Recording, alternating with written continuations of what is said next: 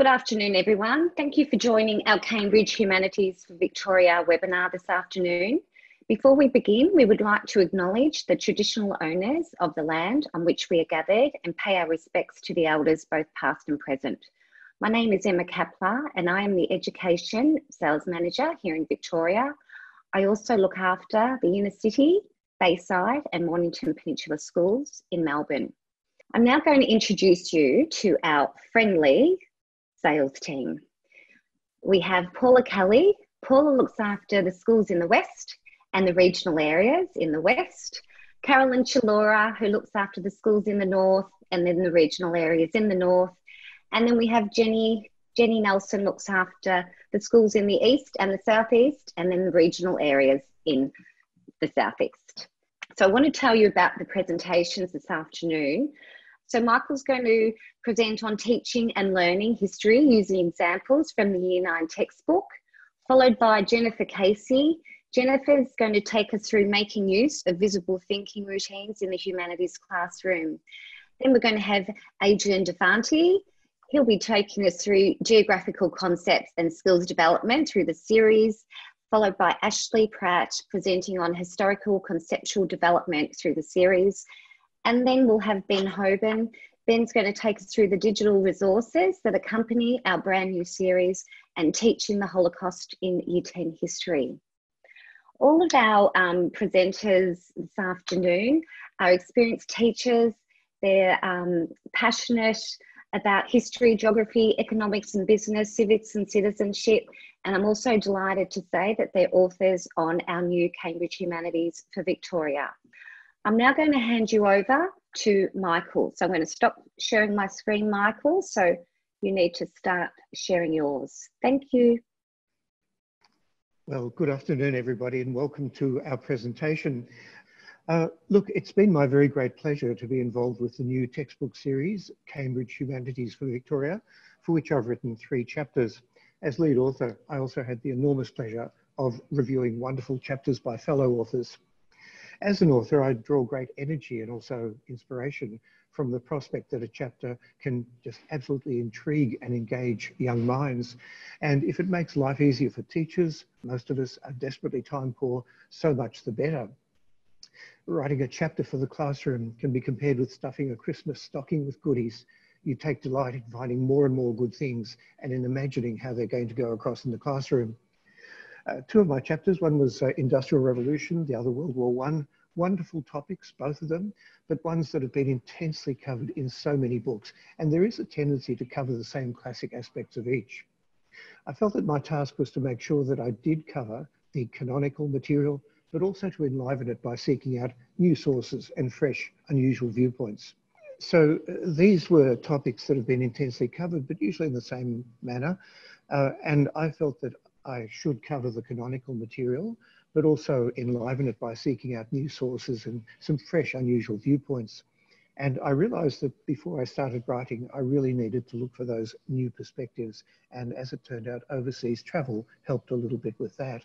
So the chapter on Industrial Revolution was quite a joy to write, but I realized that I needed to go beyond the obvious things of great inventors and great inventions, the typical nuts and bolts focus, I felt that for students who are living in what is called the fourth industrial revolution, it would be almost impossible to imagine the massive changes from an earlier agrarian life to the new life made possible when the steam engine made factory production and railway locomotion a possibility.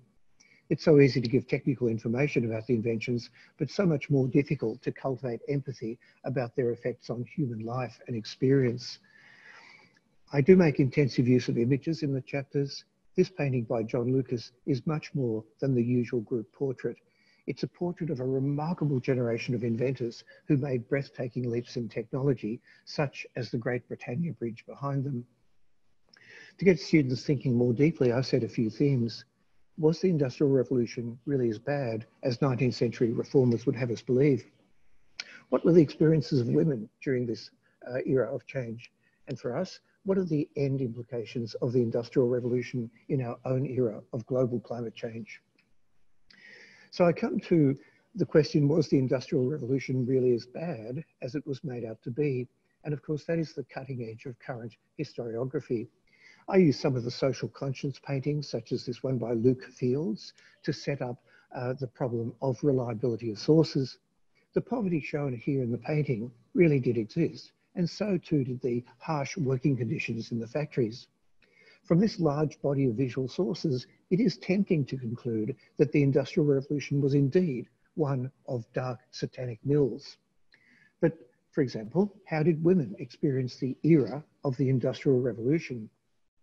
The visual records of the time are actually problematic because many paintings were done for the owners of the factories, such as the one shown here in the background at Wigan by the painter Eyre. The painter only shows us the women taking a lunch break there's no information about the working conditions in the factory behind them, least of all the crushing long shifts.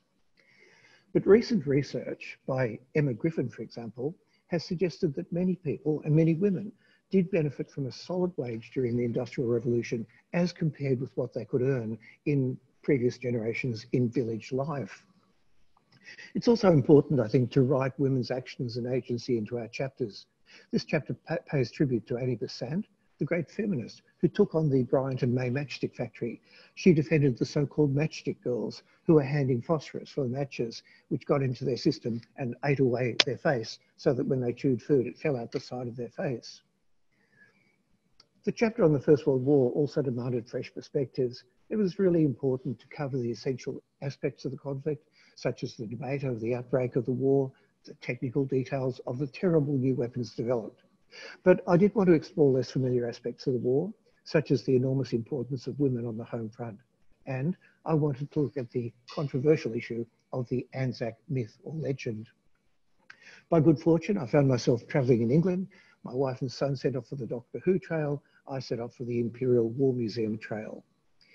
And needless to say, the exhibition spaces were just astounding, but that wasn't what I came for.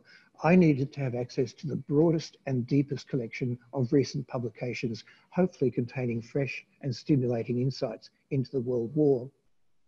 And I found them.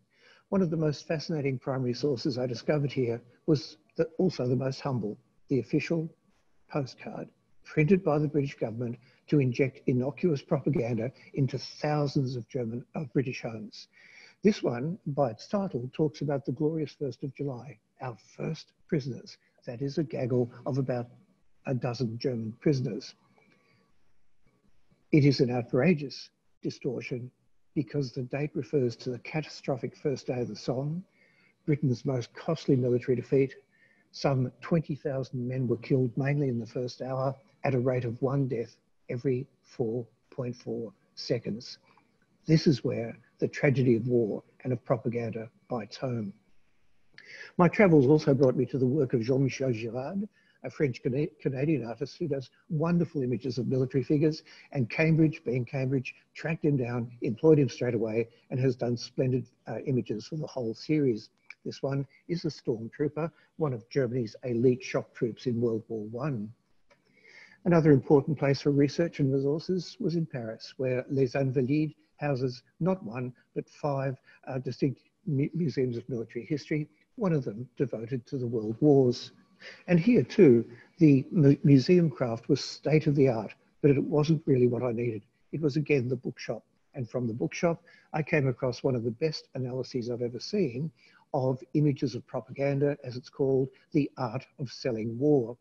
And I think as teachers, we know that the discussion of emotive wartime posters, including techniques such as the bestialization of the enemy, will allow very rich classroom discussion. No account of war, I think, is complete without the dimension of women's history. Images of nurses and of munitions workers are common enough, but they need to be linked with this staggering volume of work that women did. In Britain, for example, women were producing 80% of weapons by 1917. And it's less well known that some 200,000 women stepped up to the plate and kept the British government and administration running during the war. Uh, here's a couple of pages from the chapter. On the left, you can see the photographs and the posters about women's munitions workers. And on the right, you have one of Girard's beautiful drawn images of a nurse. And just to give you an idea of what those women uh, worked at, here in Australia, they were working at Maribyrnong at the huge ammunition plant, and they were ha handling shells like this one four and a half inches in diameter, an absolute huge shell from a Navy gun, so heavy that even empty, I can barely carry it properly. And that's what the women were working with. One small lapse of concentration and there would be a huge explosion, which is in fact what happened at the Maribyrnong plant at one stage. I'd like to share with you one remarkable story, an inspiring story of an Australian painter, Dora Meeson. Uh, before the war, she was already a suffragette and she went to Britain to advise the British suffragettes in their campaign on the vote. But she was a modernist painter. And so people at the time during the war were very mystified when she suddenly went backwards artistically to a more traditional style of painting. And she painted a sentimental scene of a British family farewelling a soldier. They were mystified, but there was a good reason for it. Meeson was an artist, but she was also an activist and a feminist. She learned that British working women were not receiving government pensions when their husbands were killed. They were actually having to prostitute themselves just to feed their families. So she painted this work in the academic style knowing it could be sold at a high price and distributed all the money to needy women. There's a wonderful biography of Dora Meeson by Myra Scott, just come out, inspiring reading. And there on the right is the painting we're talking about. On the left, you can see that instead of just putting a caption on the work, uh, I try to build learning exercises around images so they become a text to be interpreted, not just a picture. Uh, one important aspect for me was to give historians and the work they do presence on the page. I wanted students to realize that historians are people and professionals, not just names on the covers of books. Uh, and one I chose was the great Bill Gammage, whose work I absolutely worship, uh, to illustrate the importance of primary sources. So there is a little collage with a soldier in the trenches writing a postcard home or a letter home, that's a primary source, and then Bill Gammage in his study writing up his wonderful book, The Broken Years. It is a comfort to me to know that somebody else has got a study as untidy as I do.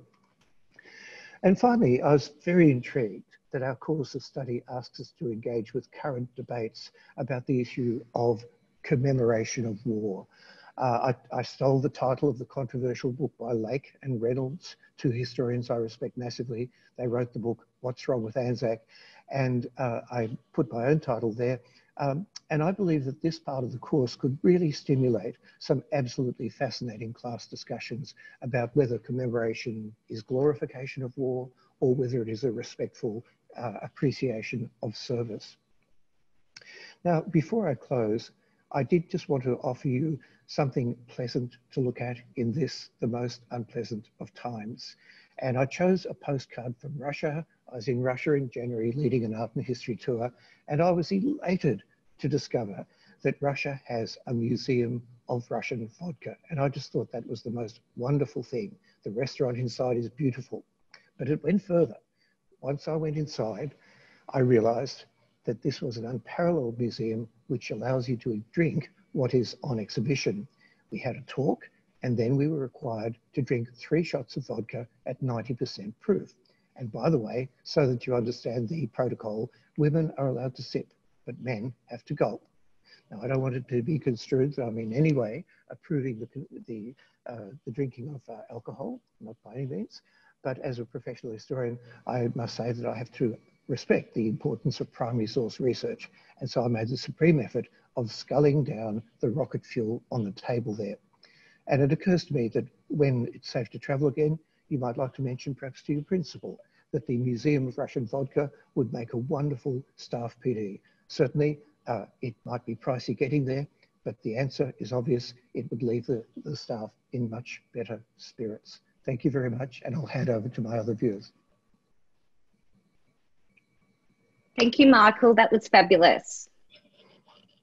Um, I'm Jen Casey, and it's an absolute pleasure to be here with you today to speak about the new Cambridge Humanities series. Um, I'm going to speak a little bit about the um, visible thinking routines um, that we've included throughout the series, uh, particularly in relation to the economics and business and civics and citizenship um, sections. Uh, so the thinking routines that we've included, uh, many of you will be familiar with. Um, they're from the Harvard University's Project Zero group. Um, I'd encourage you to, if, if you don't, if you'd like to learn more about them, um, I'd encourage you to visit the Harvard website to learn a little bit more. Um, but in short, visible learning um, or visible thinking routines are engaging classroom activities uh, which challenge students to reflect on and articulate their thinking about a prompt or source material, uh, which we know is the core of um, so many of our subjects. It's responding to source material, um, it's making it about um, authentic learning experiences that have to do with the world around them. Um, because student outcomes uh, are so much improved when they are about real life experiences and they can see how that how what they're studying um, relates to real life and real world experiences, um, which is why I think it has a real democratising effect on student learning. Um, we also know that, students learn a lot when they get to talk to each other about topics um, rather than um, us talking at them or to them. Um, but when they have an opportunity to learn from each other, um, as well as being able to see what they're learning, they can really take control over their over their own learning um, and become really empowered learners. I've got an example here um, from the one of the chapter starters. It's one of my favourites. Uh, it's where we have um, Harry and Meghan when they visited Australia earlier last year. Um, and it discusses, um, we can see that it discusses um, the kinds of choices that consumers make based on um, the influence of celebrities and social media influencers. Um, this is something that our students are all really familiar with, um, but the extent to which they will have thought about it deeply um, is questionable, which is why we have uh, a Making Thinking Visible exercise there um, and that they can start to think about the kinds of questions that they that they have about the topic. Um, so this is operate. This is um, intended to operate as a bit of a hook at the start of each topic um, to get them really interested in in the chapter and generate discussion. Um, there are lots of different, like it's basically to flesh out the prompts that we've provided um, at the start of each chapter. So they get a bit of an idea of what they're going to be learning about um, and what interests them about what they're going to be learning about. Um, there are, these can be used by teachers in a multitude of ways. Um, they're embedded throughout the series, so not just in these um, starter sections. Um, they can be used to introduce a topic, like here with the compass points. Um, to get students to analyse an image or, for example, the image uh, above here. Um, we can get them to work in pairs or groups um, to encourage students to craft a written response um, or, to, or to get them engaged in debate, depending on how, how lively your cohort is. Um, by using the same routines sort of over and over, students can develop a real familiarity with them um, and confidence with the rules of the activity. It's also something that's consistent across the four topics um, covered in the series. So it really helps to tie the humanities and social sciences together in that way as well. Um, they are embedded in each chapter. Um, the authors were given really, really free reign to include them where they thought they could be um, useful uh, that said, you can absolutely adapt them to different scenarios depending on your class or the thinking routines that you're more comfortable with or think that your class would enjoy. Um, the authors have used the, each of the routines in different ways depending on the chapter content. Um, so they are included. Here's an example of where it's included in the middle of a chapter. Um, it's also included at the end of um, each chapter. So the idea is that hopefully students will become familiar with these routines and engaged by them. Um, ideally, um, these activities get students to think more deeply about the material that they're accessing and articulate their thinking in a way that will um, give them access to, to metacognition, excuse me, um, which hopefully leads to deeper understanding of the content and more authentic learning. Um, look, they're considered a, a tried and true um, series of teaching strategies that have been proven to work time and time again. Um, they really are, like we know that um, making thinking visible is a powerful tool. Um, they have been around for a little while Um, so embedding them in the chapters and at the end of the chapters, um, we hope is uh, is another tool that you'll be able to add to your toolbox as a teacher. Um, here's another one at the end of the section review. Um, another think, pair, share, which is of course um, something that that many of you will have done already, um, but to have it there, I think, especially for new teachers, might help give you a bit of confidence, or if you're not, or if you're not as familiar with the content material. Um, look, at the end of the day, we really hope that you like the approach that we've taken, um, and that you, your students find these activities um, to be really approachable, uh, and that it helps develop their engagement with and understanding of the chapter content. Um, it's been lovely speaking to you and please don't hesitate with questions at the end. G'day everyone, my name's Adrian and I'm the lead author for the geography component of this series and I'm here today to talk to you about how the series can be used to help students develop geographical skills throughout year 7 through to year 10. So firstly I'll pose a question to you and, and that is what is the best way to teach geographical skills? In my opinion, a really important thing is to expose students to a range of different data types and different analysis skills throughout each year level and to make sure there's a balance in these skills between hands-on, things like traditional forms of, of, map analysis, but also the use of, of spatial technology to assist with that. Data and the skills need to be relevant to the topics being studied. This helps students to understand both the skills but also um, the content. And these skills should increase in complexity as students develop from year 7 through to year 10. Also, highly recommended that scaffolding should be included where appropriate to support students who may have some difficulties with some of the skills. And a really important point is not to just teach skills for the sake of teaching skills. This makes geography incredibly boring and unnecessary. The whole point here is the skills should help us to understand the content. So they should be applied where the content is and presented in text as opposed to some other textbooks where they have a, geographer's toolkit chapter that often tempts some teachers to run a, a one or two week skills um, unit. It's completely unnecessary as long as the skills are actually embedded in, in the topics, which is what we've done in this series. So some ideas of, of, of some of the um, some of the skills and data that we've included here in year seven, for example, this is just a snapshot. We have uh, different types of line graphs that can be used for comparison. In this particular one, it's about water storage is in Melbourne. Segmented bar charts, pie graphs, um, stacked line graphs, which are quite complex, um, and tables of data where students might have to order the information or calculate averages or percentages. Also, a, a range of different types of maps and, and, other graphs, such as climate graphs, um, rainfall maps here, elevation data, other sorts of choropleth maps, and satellite images are also quite common, in particular to help um, students to, to see changes over time. In year eight, in the Changing Nations chapter, we have some other types of data. Um, this graph's particularly great, I think, where you've got um, the urban population and the rural population, and students can see where they meet and they can see what's happening in the future and, and continue the projection if they wish and have a look at what um, it may look like in 2050 or 2100. And on top of that, we have the world population as well.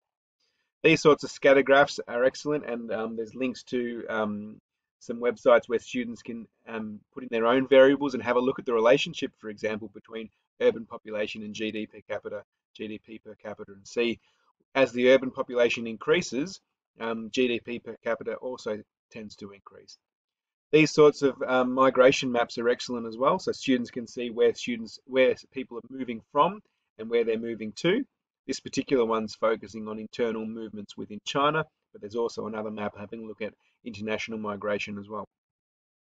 Some other types of data that year eights might see are things like um, here we've got a choropleth map of the urban population and overlaid onto that is the size of cities. So people, um, students can see not only which areas have the highest urban population, but also whether that urban population is confined to large cities such as megacities or just spread more evenly over smaller cities cartograms where students can see um, uh, areas exaggerated to represent um, the data that's in, in a legend. And here we have natural population growth and we have urban population growth rates. And students can have a look at the spatial association between these maps and see whether or not natural population growth is having a, a, a major or a minor impact on urban population growth rate.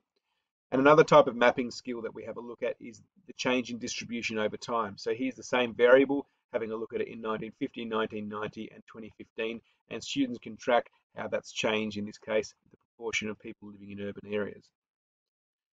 Throughout the um, chapter, we have all that data within the text, and we have these things called developing geographical concepts and skills. So this is where it explains what the skill is. So in this case, describing what spatial association actually means, and then giving some pointers or some scaffolding in this case, um, showing students how to answer that type of question. So we also have how to describe a, a spatial distribution, drawing and interpreting line graphs, population pyramids, thematic maps, stack line graphs, bar graphs, Gapminder where they can have a look at the association between variables. And that's just a snapshot. Plenty of these sorts of things throughout each of the year levels. Year 10, the data gets a little bit more complex. So here we have an example of the water cycle, but much more detailed than the version from year 7. Here we have a, I guess, a process diagram having a look at um, mangroves and the impact that has on an environment. Um, line graphs once again. This particular graph is fantastic. This looks at the temperature range and the precipitation range for different types of environments around the world, relevant to year 9 biomes, but also year 10 environmental change and management. And population pyramids, students learn how to analyze these in terms of their overall shape, indentations, bulges, have a look at the aging population, the young population. And in the Year 10 chapter, they apply this to the well-being of Aboriginal and Torres Strait Islander peoples. And this graph's fantastic at, at comparing a quite a stark inequality issue between Indigenous and non-Indigenous Australians. And I'll take the, this opportunity to say that each of the year levels um, has a, at least one case study having a look at Indigenous um, Australians, whether that be traditional forms of land management or well-being. So students definitely get good coverage over um, Indigenous issues. In Year 10, students often um, get the opportunity to have a look at some more complex types of maps as well. Um, topographic maps are used throughout the series, and here's another example of a unique type of map. In this case, it's the health of different um, study points, study areas along the Yarra River from the Yarra Reservoir to Melbourne, and students can have a look at how, how the health of that water quality varies. Another really important part of our series and a really important part of teaching geography in, in, in modern times is the use of spatial technology. So spatial technology, it does scare some teachers and they think, oh, how do, um, am I doing this right? All it basically is, is any form of technology that refers to space and place. And so spatial technologies, they collect data, they organize data, and they reference that data to any point on the Earth's surface. Sometimes the data is organized in layers and um, manipulated using some sort of an online mapping portal. And when that happens, it's called a geographic information system. So that's one of the types of spatial tech that's included in the series. We also have um, satellite imagery and how to analyze that, other types of online online mapping portals, and even things like digital elevation models showing um, um, bathymetry of, of an ocean um, ocean floor, but also of the landscape, digital elevation models and maps as well. So as an example, in year seven, we have a look at National Geographic Mapmaker, where students can turn different layers on to a base map and zoom into different extents and have a look at the associations between variables. Year seven, they also have a look at a Brisbane flood map portal where they can select a different um, level of flood risk and have a look at the spatial extent that that might have when it, when it floods. Having a look at um, satellite imagery and having a look, this is Dubai in, in 1984 versus Dubai at the moment, and having a look at the extent that the urban growth has, has occurred and showing students how to use the ruler tool and the polygon tool to actually quantify that urban growth. Having a look at census data and how that can be arranged spatially using a, um, a map portal called National Map and using that to answer some, some demographic questions. And in year 10, having a look at um, Global Forest Watch, which is quite a um, complex source of data, having a look at tree cover gain, tree cover loss, but also the ability to click on different countries and get a range of um, analysis and data options. So there's quite a wide range of spatial technology types covered, and in each case it explains what it actually is, it gives students some steps to follow, and then some questions to answer. So hopefully that gives you a brief snapshot of the um, different types of data and skills included in this series, and I look forward to your questions at the end of this session. Thank you very much. Hi everyone, I wanted to just spend the next few minutes or so going over some of the conceptual underpinnings of the Victorian curriculum and how that can be represented in works like the Cambridge Humanities text that we've been working on over the last little while. So, focusing specifically on history, which is my expertise, uh, my area of expertise, the Victorian Curriculum for History identifies five different key concepts that are necessary for students to develop their ability to think historically. So, as you can see here, these five are sequencing chronology, using historical sources as evidence, identifying continuity and change, analysing cause and effect, and determining historical significance. Now, chronology, our first concept, that, concept that is listed there, involves the arrangement of events in order of time. However, it's not an end in and of itself, uh, and by doing that, it allows students to be able to identify patterns and sequence the flow of events to be able to make links between events um, that are in the chronology that they are studying. The second one we have there, using historical sources as evidence, really does underpin sort of everything that we do in history. And it really focuses on the fact that sources are the building blocks of historical thinking and what makes studying history studying history. And it's about developing students' understanding and interpretations of the past. But students, it's not just about reading, students have to ask analytical and evaluative questions of sources so that they can be used as evidence when creating their own explanations about what they think happened in the past. These questions could be about identifying origin of certain sources, the features or the purpose that these sources originally had. Our third one there, identifying continuity and change, involves developing students' ability to make sense of the past, including things that changed and things that continued unchanged as well.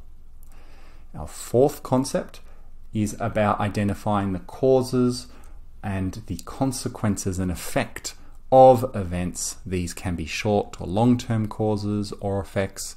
Uh, they can be political, social, or economic. And we know that uh, complex events in history often have multiple causes and multiple effects, all of which vary in how big of an impact they had on the area that we're actually looking at. And then finally, determining historical significance. So, historical significance concerns the particular aspects of the past we're studying and making evaluative judgments. These might be the judgments about the effect that the event had on certain groups of people or altering the course of uh, wider events in the chronology. It does depend on the questions that you are asking. Now, in the text that we've written for Cambridge University Press, uh, we focused on making sure, firstly, that historical sources, as using historical sources as evidence, uh, really did underpin everything that we did here. So, one of the things that you'll notice if you look through is that whichever history chapter you're looking at, using historical sources as evidence is always present as an area that students focus on to develop their historical reasoning in this way. So this is a part of from the year 7 textbook. Uh, which introduces students to this concept. And as you can see here, it introduces students to the idea that there is different kinds of sources, like primary and secondary sources, and what are the key features of these sources. But what we also uh, found was a useful approach was that for each unit, uh, that we look at that it focuses on some of the other concepts as well. So, for example, here is Unit 1, which just uh, focuses on Aboriginal and Torres Strait Islander peoples and cultures. And as you can see here, this introduces students to that, uh, that concept of sequencing chronology here. So, uh, what it means and how it might be useful. And as the text uh, progresses, for example, in Unit 2, where you can study either Egypt, Greece, or Rome, all three of those uh, options within that unit focuses on different concepts, and the same for the third unit when looking at China or India. But what we've ensured that is as students go through whichever options they do, Egypt, Greece, or Rome, or India or China, that they are exposed to learning opportunities for all of the different concepts uh, that are present there. So, this, for example, is how the Victorian curriculum uh, focuses on, I've just picked chronology as the concept, sequencing, and this is from the year seven, uh, the level seven and eight descriptors with the elaborations. But as you can see, just focusing on the descriptor, sequencing events, uh, significant events in chronological order to analyze the causes and effects and identify continuities and changes. And you see there some of the links between the concepts that chronology feeds into, things like continuity and change and cause and effect.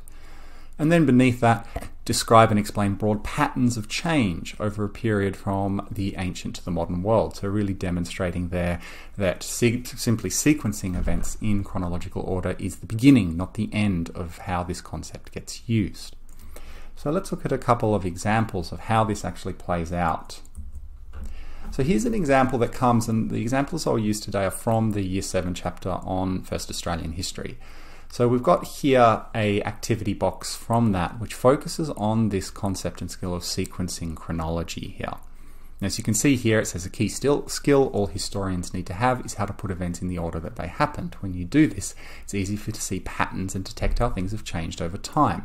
So really showing here that close link between what we've written here in the text and the curriculum, the Victorian curriculum here. So the student actions here create a timeline from what you've read so far, and this is really the beginning information about migration, first Australian migration to the continent, looking at how that uh, developed over time. And it says here, uh, from the information in the timeline at the start of the chapter, make sure you outline the key phases that Sahul, the, the supercontinent there, went through tens of thousands of years ago. So, again, making that link back to the curriculum that chronology is useful for identifying phases of time. If we look down at uh, the second and the third actions for the students to do, Question two, use the timeline you've created to write a short paragraph that explains the phases that the Sahul continent went through.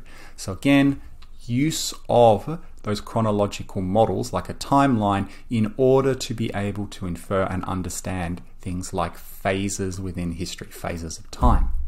If we look at the last action here for students, describe the impact these changes might have had on Torres Strait Islander peoples and cultures, uh, Islander peoples living during those times. So again, looking at the idea that these changes had causal impacts on people. So just like the curriculum identified, there's links here going forward.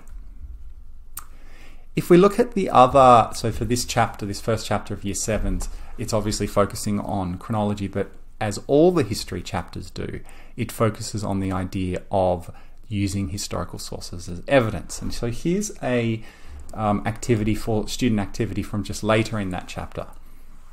This uh, requires the use of both the information that they've read through, but also the use of this visual source, this wonderful painting here from Joseph Lycett.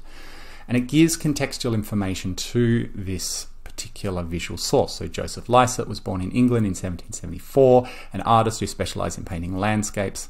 Lycett was transported to Australia as a convict, arrived in Sydney in 1814. So this is providing students with all that contextual information to understand the origin of this. Um, after he was pardoned, he painted several famous scenes showing the cultural activities of Aboriginal peoples. Then it's got obviously the image here, and then it has two student activities here. The first one was the artist who painted source 1.15. So, who was, that should be, the artist who painted source 1.15? How might this answer the question? How might the answer to this question, sorry, affect the ways the events were painted.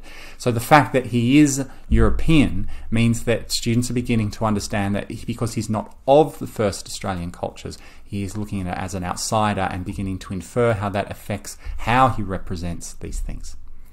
You've got here using the information uh, you have read and the painting explain how Aboriginal and Torres Strait Islander peoples used fire to help them hunt animals for food. And there's a lot of contextual information in this section of the textbook which they need to link in then to the source. So providing context for the source and making that link between them that's there. And as it says here, please refer to the specific parts of the painting in your answer. And so, just to sort of end this brief explanation here, a lot of the, the, curriculum itself and how we've written a lot of the work here in the textbook is based a lot of long, uh, based on a lot of work from historical thinking research. So, uh, you may be familiar with work of Canadian researcher uh, Peter Seixas and that really great book he wrote with um, Tom Morton on the Big Six historical thinking concepts. Then also some other work that comes here from people like Stefan Levesque and Sam Wineburg and others here. These influenced how the curriculum was taught, and then we uh, the curriculum was constructed, and then how also uh, we went about the construction of this student resource to really try and make it based on the best research in this area. Thank you. Hi everyone, my name is Ben Hoban. I am one of the contributing authors to the Cambridge Humanities Victoria series. I'm a teacher of 12 years teaching history at Cheltenham Secondary College here in Melbourne and I have contributed to the Year 8 book and the Year 10 book, writing history chapters in both. So I'm here to do two things today. I'm going to talk to you a little bit about some of the work I've done in the Year 10 book, but then also talk to you mostly about the digital resources that have been created here by the team. Hopefully you've had a bit of a look through the tour and seen some of the amazing things on offer. But I want to give you a bit of a teacher's perspective on how that is going to make your job a lot easier and a lot more engaging with your students. So before I get into the digital resources and content, the Cambridge team have asked me just to quickly discuss some of the work I did for Cambridge Humanities Victoria 10, principally the chapter on World War II and the section on the Holocaust. Now, as many of you know, uh, the Honourable James Merlino said earlier in this year that teaching of the Holocaust should be compulsory in all Victorian schools. We all do it, but obviously they have mandated this. So one of the things I'd like to draw your attention to is how we decided to approach this chapter and why I think it's going to be a little bit different and perhaps a little bit more advantageous than uh, perhaps previous textbooks. So one of the first things I did when beginning this chapter was to reach out to Lisa Phillips at the Jewish Holocaust Centre in Melbourne and basically asked for their guidance and assistance in writing the chapter and permission to use the stories of their survivors within it. They were an incredible help, an unbelievable resource, and provided incredible assistance in reviewing the chapter and making sure the story was told properly. But principally, what we have done with this chapter is use the stories of four survivors who work with the Jewish Holocaust Centre and have spent decades telling their stories there. So Irma Hanner, John Chaskiel, Willie Lermer, and Louisa Haberfield appear throughout the chapter. In many instances, they have direct experience of some of the more um, prominent events in the Holocaust, and they provide a first person account to things that I think traditionally we've taught that are hard to penetrate because of some of the most uh, challenging statistics and challenging stories.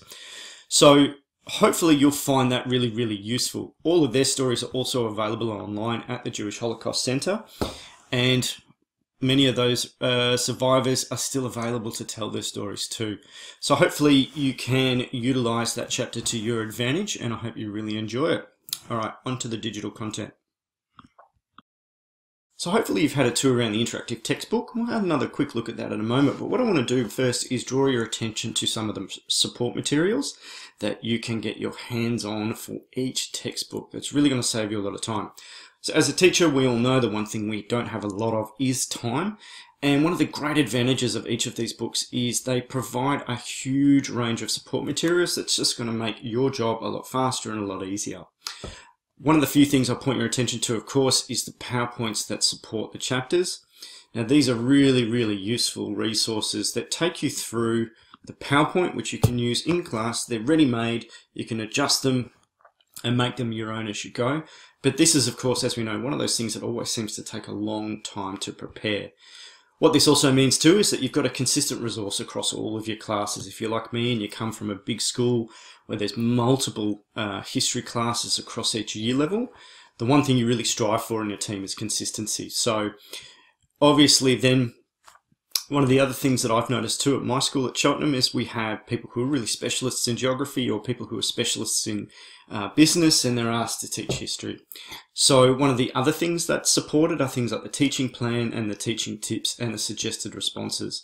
And these are absolutely fantastic life-saving materials if you're not confident with that particular area. So each of these goes through question by question what should be a good response and what to look out for and things to basically, you know, be ready for when teaching these topics in classes. So, for graduate teachers, for teachers who are returning to history, or teachers who perhaps don't have the same level of confidence, this is provided for every subject across the books. So, this is a really, really wonderful resource.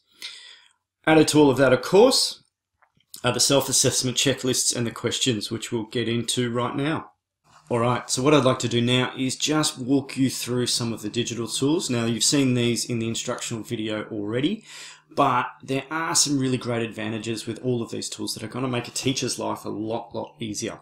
So as you've seen with the support materials, within each of the interactive textbook tasks, there are quizzes and review sections attached to that. So the quizzes are fantastic for obviously generating sort of summative understandings, but also formative understandings. And all of these can be downloaded and generated into reports, which I'll get to in a little bit. But one of the great advantages of the review section is that if you're looking at some of the more challenging tasks like interpretation or argument or the extension tasks, we know in the history classroom that teaching to write for history is itself a distinct skill. And one of the best ways we can do that, one of the most high impact ways we can improve student outcomes is by modeling responses.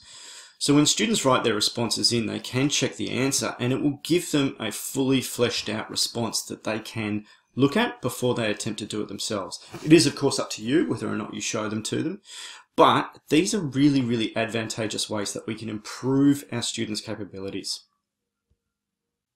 All right, so one of the other things that I'm really excited about in this section and in the dashboard is the reports function, which is something that allows you to generate reports based on the work that the students do in the interactive textbook. So as you would have seen in the, the walkthrough, it generates really, really detailed reports on how students complete each section. And that is data that you can use to do formative and summative assessment and planning and reviewing your curriculum for the year. Uh, I work at a school that's really, really data driven, and this is a resource that's going to make our jobs a lot easier to do and a lot less time consuming. So I'm really excited about the ability to do that not only within this section, but across the faculties as well. So that's a tool that's going to be really excellent and a real time saver. All right, so the last thing I want to talk to you about is the resources that are available here. So at the beginning, I spoke to you about some of the resources in terms of teaching plans and suggested answers and PowerPoints and all of the ways that you can kind of speed up your preparation and be ready for each class. One of the great things we've provided in this series in, under the teacher resources is a series of tasks that address the Victorian Curriculum's Capabilities Project. So each school approaches this very differently, but what we've provided here are ready to go assessment tasks to make sure that you're hitting all of your reporting needs. And if you have those students who are really excelling or really extending or a student that perhaps needs a different task, these are great little tasks that allow the students to approach the subject in a different way and develop those capabilities. So what you'll notice with each one, it has a set task that they need to complete, but then added to that, there is a rubric that allows you to pick up, assess it, and report on it in quick time. So hopefully that's something that's going to make your life a lot easier. I know it's going to make mine a lot easier as well. Thank you for your attention. I really hope you guys enjoy this series as much as I did contributing to it. I'll see you soon. Thank you everyone for those great presentations. Let me go to the next slide. I just want to run through, it's not working for me. There we go. I just want to run through um, the availability of our new series. So you've got on your screen there the purchasing options and the pricing. But just to let you know, um, we have year seven that's going to be published in early October. Our year eight book will be at the end of October. We'll also have um, year 10 at the end of October. And at the moment, we've got year nine in stock. So that's available now please do get in touch with your um, Cambridge rep. Um, if you would like to receive further information on the series, we can provide you with um, sample pages to view. Um, we can provide you with further digital presentations to help with your book list decision making if need be. Um, it's now time to um, invite our presenters back on screen. If they could turn their video and audio on. um, for question time. Um, I think I need to stop sharing mine, don't I? Sorry about that. Um, and I also would like to introduce you to our um, humanities publisher, Nick Alexander. He's also going to join the question time. Thanks, Nick. Thanks, Emma. Uh, thanks, everybody, for joining today. Um, all right, we might start with a question uh, for you, Adrian. Uh, this is from uh, registration. So, uh, how do we get, how do teachers get the leadership in their schools to view subjects like history and geography as a practice, uh, as in the subject areas of science, rather than just pure content consumption? Well, I certainly see geography as, as a science personally. I know it's part of humanities as well, but I did it as a science background. And I think a big part of that for geography is certainly um, field work. And I didn't mention field work, but field work is a big part of our books. Every, every geography unit has an example of, um, of a field trip that students could go on, either as a class or, or some individual activities. And I think the other important thing is is once again the skills. It's the critical thinking and the analysis skills that the students will develop. And in particular, at the end of each chapter, and um, and throughout the chapter as well, in the review sections, there are opportunities for some really good extended response questions where students can analyse all sorts of data from within the chapters, do some individual research as well, and learn to really construct an opinion. So many of the questions um, are based on uh, suggesting a factor, suggesting an impact, and justifying that. And I think the justification of that is where um, geography and history really come into their own as as really important disciplines. Hmm. Uh, thanks, um, Ash or Michael. Would you have anything to add on history on that uh, topic? Ash, would you like to go first? Um, I would only say that it's it, in order to approach the teaching of history if, the, if people are viewing it just simply as content consumption you perhaps have to draw their attention to the fact that so many of the problems that we face as a country and, and perhaps the world have really deep historical context to them that students need to get a really good understanding of if they're going to be the people who help solve them if we look at problems like um, first Australian disadvantage across this country. Well, I think it's a little bit flippant to say, well, you know, they're just studying content when they're studying Australian history. They're studying the context of the world that we live in. And uh, I would really put forward an argument that we are empowering them as citizens of the future to understand the context of their world. Um, to do that, that's what I would say anyway. No, thank you. Um, okay, we've got a question here from Lisa Dempster. Uh, have we considered adding virtual geography excursions within the text? Um, Adrian, would you like this one? um, yeah, n- not virtual in the sense of something completely in- interactive, but certainly there are um, opportunities for, for Google Earth, and, and there's some um, some specific instructions to do um, several things on Google Earth.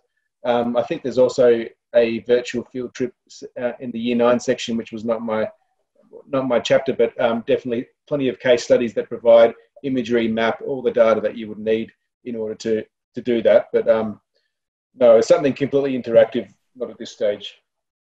One thing I'll just add that we do have is every uh, chapter has a Google Earth tour uh, in the interactive version. So uh, that's just designed to give a little bit of geographical context, but um, maybe not to the extent that Lisa would be after, but hopefully it's still something that students enjoy. Um, here's another question from registration. Uh, what kinds of hands-on engaging activities uh, have we included for teachers for year seven and eight history? Um, I might give hand this one to Ben. Uh, okay, um, I can speak to. Uh, there were two chapters that I did in year eight, which were the medieval and Aztec chapters. And there's a lot of opportunity to sort of do, um, I guess, your creative responses, your mapping tasks, your things that aren't traditionally um, history techniques. But one that uh, one that comes to mind, I definitely really enjoyed putting in the debate about in the Aztec chapter about um, La Malinche, who was basically the sort of concubine slash wife of uh, Hernan Cortez, who was the explorer who conquered uh, the Aztec Empire. And one of the things that I did at the end of that chapter was to get kids to actually kind of stand up behind their learnings and develop an activity that asked kids to really debate, um, I guess, the ethical dilemma facing La Malinche and the issues that she had, um, perhaps either in betraying her people or perhaps doing what she needed to do to keep her own people alive. So, in that process, um, a design and activity that definitely gets to not only kind of, I guess, stand up behind their learning, but collaborate in groups and get them up and moving. Um, I'm a history teacher, but I'm also a media studies teacher, so I'm very used to kind of um, developing activities that really explore uh, kids with different areas of expertise. So allowing creative talents, allowing spoken or oral learning to find its way into the book, and that's probably uh, an activity that comes to mind that definitely is in medieval as well, um, along with a lot of the sort of, I guess, um, as Michael would say, canon activities that we find in medieval as well. I think there's lots in the um, making learning visible activities as well, as far as sparking class debate, getting kids up and moving around the room, and that sort of thing that um, each of the authors have, been, have embedded in those history chapters too. Thanks, Jen. Um, another question here from registration. Um, how does the Year 10 book uh, tie in with the descriptors mentioned in the curriculum? Uh, I might just say that the series is structured uh, very closely against the Victorian curriculum, and uh, each subsection of each chapter covers a content descriptor. But um, Ash, would you like to talk to that a little bit? Yeah, well, hopefully, um, uh, some of the presentations really gave insight into this that we we started with the curriculum and then built out from that about what the series would look like to make sure that we were covering all the elements of the curriculum that students are expected to learn and develop from as they progress. So we, when when we were writing our um, our areas, we had lists of the curriculum content descriptors and the elaborations that went with it to make sure that we were covering all the relevant areas as we went through. And uh, as we reviewed it towards the end, and the lead authors went through and reviewed the different chapters, making sure that every area was addressed. So I, I don't think there's any area that uh, we will have missed out on, which should be good for curriculum compliance. No, thank you. Um, and hopefully those Victorian curriculum capabilities projects included with each chapter are another um, good tool for teachers. Um, just a final question from the registration, uh, which is a really good question. How can students learn about black swan events and develop the ability and skills to recognize unknown unknowns? And of course, uh, this is a crazy time we're living in. Um, I might just mention that we are planning to add a a chapter on COVID 19 uh, in each year level in the digital versions. Um, and we'll have those ready uh, by next, uh, next year, first term. We're waiting for events to pass. Um, but yeah, Ben, would you like to uh, tackle this question? I'll mute myself. Um, yeah, that is a really tricky one. I know it's something we discussed, especially in reference to uh, COVID and um, even looking at the plague. And that's something that we're actually doing in my classrooms at the moment, or my virtual classrooms. And it's um, in terms of how to approach it at, at, this point in time, it's it's a difficult one because uh, COVID is definitely, as you said, ongoing, and it's quite interesting getting feedback from my kids about how they're feeling about this particular situation and how you approach things like the plague and make those comparisons and, and kind of look at those events in a different light. It'll be really interesting to kind of teach that uh, going forward and how students respond to that. But um, yeah, that's kind of a tricky one, Nick. I'm not sure about that. We need to wait.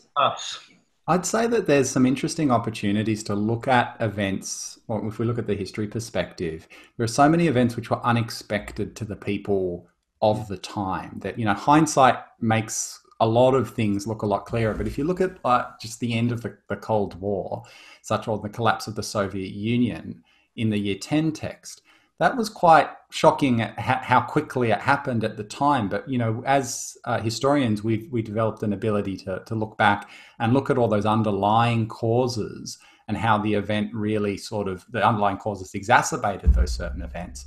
And so, hopefully, what one of the things it's able to do is to get students to be able to look at events currently and look beyond the immediate into what are really sort of longer term and underlying sort of uh, pressures that are going on and how that could play out. Um, that you know you can't you know the unknown unknowns you can't predict, but you can get a better understanding of the of stresses and you know pressures in the system that uh, events can exploit. Michael, would you like to add anything on on that question?